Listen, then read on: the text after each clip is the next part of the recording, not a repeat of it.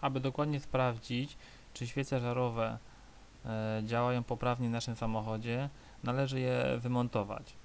W miejscu, gdzie podawane jest napięcie e, do świecy żarowej, montujemy krótki przewód.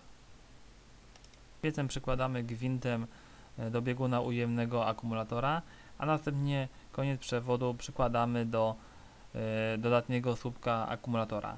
Jeżeli szpień grzejny świecy żarowej rozgrzeje się do czerwoności, to znaczy, że świeca żarowa jest sprawna. Pokazany przeze mnie sposób e, sprawdzenia świec żarowych nie dotyczy e, świec niskonapięciowych.